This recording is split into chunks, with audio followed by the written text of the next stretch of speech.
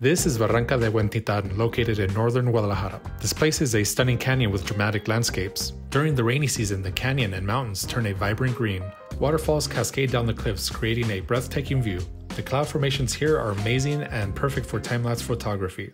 Here's a fun fact Barranca de Huentitan is home to over 1,500 species of plants and animals. One thing I don't miss from living there is the weird and crazy insects that I would find in my room. I used to live right on the edge of this canyon, and it was incredible. The natural beauty is something you'd need to see to believe.